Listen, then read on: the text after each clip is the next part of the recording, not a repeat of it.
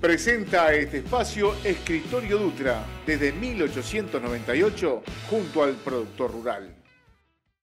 Abrimos este último capítulo de la información agropecuaria para dialogar eh, con el vicepresidente de la Asociación Nacional de Productores de Leche, con Néstor Cabrera, a propósito de la reunión mantenida en las últimas horas con el delegado de las empresas ante el Banco de Previsión Social recientemente electo.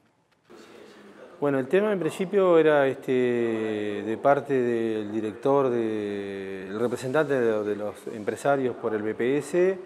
Hubo una reunión en San José, una vez se entabló la comunicación y ellos este, mostraron el interés de venir a la de venir a, nuestra gremial a, tener un intercambio, primero conocernos un poco más, tener un intercambio y bueno, lo que hicimos hoy fue básicamente esa primera reunión de, de otras reuniones que queremos tener y seguir en contacto y bueno, en cuanto a temas, es cómo trabajar hacia adelante y mejorar el BPS, que es este, que hay un montón de cosas para hacer. Y, este, y bueno, ese fue el, objetivo, primero que nada, de conocernos, de, instalar ese intercambio y poder seguir trabajando más de cerca y, obviamente que hay muchos temas para ir trabajando. ¿no? Si el tema del BPS les preocupa a ustedes, más ahora hay que saber cuál va a ser el futuro también, ¿no? BPS.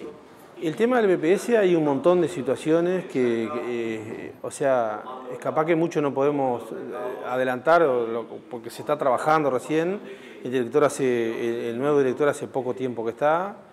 Eh, y bueno, pero hay un montón de cosas para trabajar. La idea es que nosotros podamos tener un contacto más directo y plantear temas que, nos, que, nos, que directamente este, nos plantean nuestros socios.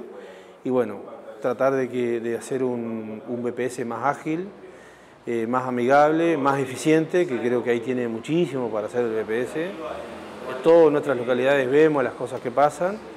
Eh, y bueno, hay un montón de temas que tienen que ir en beneficio del BPS y de la sociedad y no en, en contra de nadie. Me parece acá no nosotros no, tratamos, no estamos tratando de, ni de favorecer a los empresarios, sino que sea un BPS justo, que, atienda a quien tiene que atender y que no eh, atienda a quien no tiene que atender. Y creo que en esto todos sabemos de lo que estamos hablando y creo que son cosas que hay que entrarle a fondo y tratar de mejorar eso porque, porque creo que es, es fundamental para el BPS si pensamos en 8, 10, 15 años para adelante. ¿no?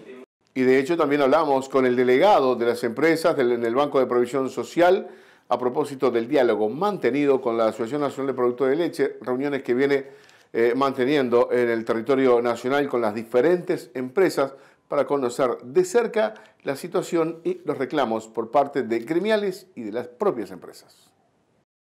Y la idea un poco era, bueno, contarles en qué estábamos en este poco tiempo. Nosotros tuvimos la primera reunión de directorio el 26 de enero, contar un poco nuestra impresión, en qué podíamos trabajar, en los temas que, habíamos planteado en campaña, que habíamos recibido, o las demandas que habíamos canalizado de, ellos mismos este, como candidatos, este, cuáles, en qué venimos más avanzados, y, básicamente, básicamente eso, ¿no? Y, quedar en seguir trabajando. Nosotros, al ser una elección nacional obligatoria donde votan las empresas, somos la única representación de la empresa en todo el Estado uruguayo en un directorio que trata temas este, que tienen que ver con, con, el Uruguay más vulnerable, más sensible y muchas veces más olvidado.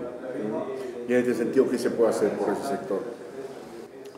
No, bueno, nosotros hablamos de uno de los temas que nosotros venimos avanzados y que la idea es a fin del mes que viene presentar un proyecto es, y que es un flagelo para todos los sectores, es el tema del, del, abuso de, de certificaciones médicas. ¿no?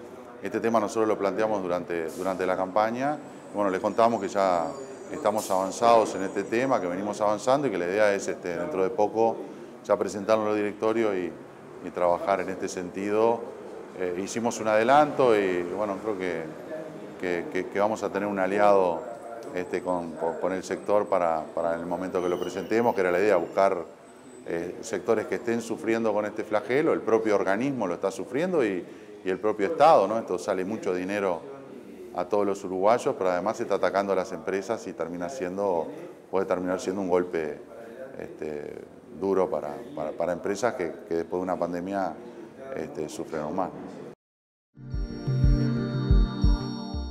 Señores, dejamos atrás la información agropecuaria, nos comprometemos a estar con ustedes en el informativo central de Canal 5 a las 19 horas y mañana, como siempre, a partir de las 7 y media de la mañana en la pantalla de Canal 5, como hace 40 años, desde 1982, junto al productor. Buena jornada para todos, que pasen muy bien.